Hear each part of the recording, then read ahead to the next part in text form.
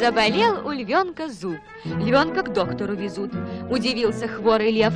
Вот компания какая, только жаль, что вся больная. Но заботливые люди постарались сделать так, чтобы в больнице для зверей было все как у людей.